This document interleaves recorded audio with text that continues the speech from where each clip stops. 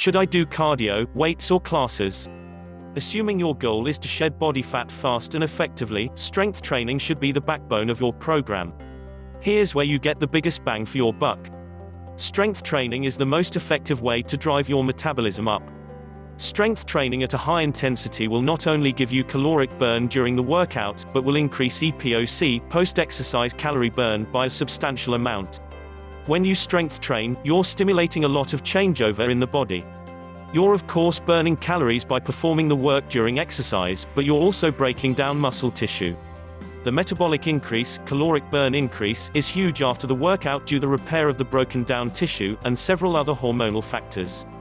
Cardio should be the cherry on top. Once you're meeting your strength training priority, you can move on to cardio. Studies have shown that high-intensity cardio done in short bursts is more effective at burning a higher total amount of calories than long slow cardio.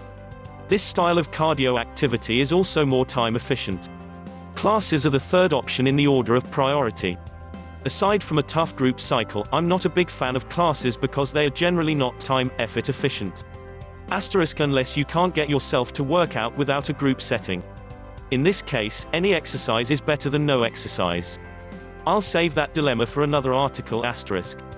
Order of effectiveness for your question. 1. Strength training 2. High intensity cardio 3. Classes